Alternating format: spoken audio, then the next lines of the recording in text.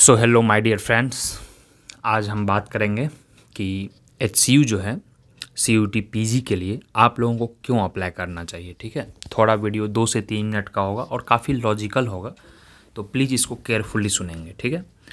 As you know that कि H C U that is Hyderabad Central University और U H it is in Telangana Hyderabad so basically it is in South India और जो north India के बच्चे हैं, वह काफ़ी दूर महसूस करते हैं approx fifteen hundred kilometre to two thousand kilometre है, ठीक है?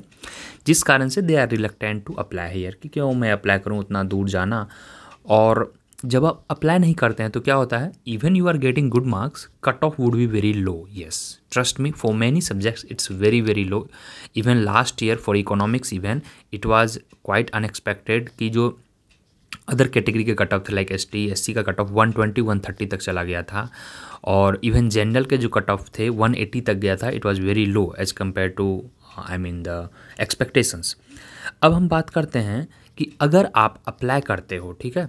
तो आपका काउंसलिंग लिस्ट में जब नाम आता है, यहाँ पर मेरिट लिस्ट डिक्लेयर होती है a kind of counselling list in which three times total number of seats are given अगर यहाँ पे 60 सीट्स है तो नियरली 170 180 पीपल को कॉल किया जाता है for the admission purpose why this much number of people क्योंकि university also knows being the far I mean from the north and all तो कम बच्चे आएँगे। अप्लाई कर देते हैं, बीच में उनका कहीं और हो गया या कहीं और प्लान बन गया तो बच्चे आते नहीं हैं। ट्रस्ट में लास्ट टाइम जो था इकोनॉमिक्स में 115 119 रैंक का जो था एडमिशन था, और जनरल में ओनली 30 सीट्स थे। तो फोर टाइम्स तक गया है। So try to understand so you must apply for H अगर आप अप्लाई ही नहीं करोगे जस्ट थिंक ऑफ़ अगर आप अप्लाई नहीं करोगे तो आपका तो ज़ीरो चांस है राइट right? तो अगर आप अप्लाई करते हो, आपका कुछ तो चांस है। ठीक है यार, कुछ तो खर्चे होंगे। चलो, हज़ार, दो हज़ार रुपये आने जाने का लग रहा है। दो सौ, तीन सौ रुपये उसका लग रहा है। आपका जो काउंसलिंग चार्ज है एप्लीकेशन फ़ी इससे आपका देखिए कितना फ्यूचर ब्राइट हो सकता है करियर सेफ़ हो सकता है, आपका ईयर गैप बच सकता है, आपको अच्छे इंस्टीट्यूट मिल सकते हैं, हज़ार, दो हज़ार, चार हज़ार खर्च करके। ये सोचो ना आप। तो it's a kind of investment you can you could say it's a kind of risk ठीक है, अगर आपको नहीं मिला दैट आई कैन अंडरस्टैंड तो उसको आप समझ लो कि चलो कि एक्सपीरियंस मिला लॉस हुआ। आपने अप्लाई किया था सिर्फ़ होने के लिए नहीं, हो सकता है देरी चांस कि नहीं भी हो।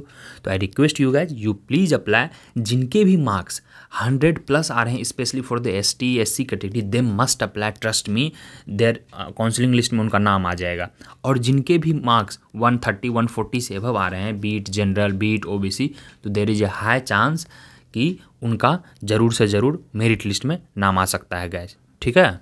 और तो आपसे बस यही रिक्वेस्ट है कि आप अप्लाई कर दें। अगर मेरिट लिस्ट में नाम आता है, मेरिट लिस्ट में नाम आ रहा है, ठीक है? और आपका विद इन हंड्रेड रैंक आ रहा है विद इन हंड्रेड और hundred twenty like that for any category reserve category और anything you must come for the counselling क्योंकि जब आप यहाँ काउंसलिंग में आओगे तो वो आपके सिग्नेचर लेंगे।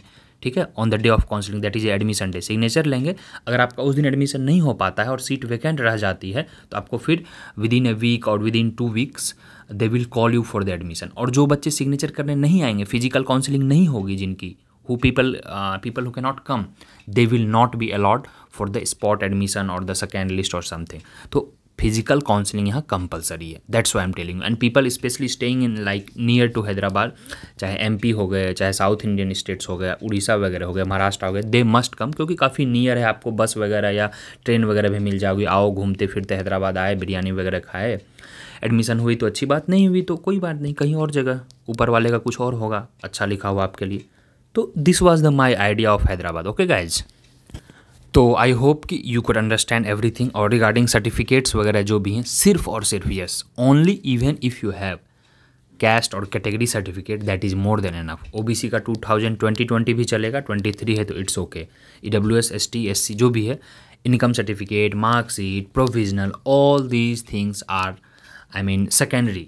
Even you can submit it after the admission of one month or two months so please try to understand don't be in the panic mode और आप अप्लाई करें अच्छे से हो सकता है आपका कम मार्क्स में हो जाए who knows luck and favour ना।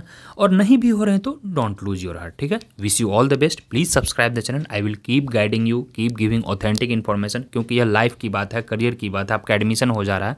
तो चैनल को सब्सक्राइब कर लेंगे। या नए चैनल पर भी सारा वीडियो अब आएगा।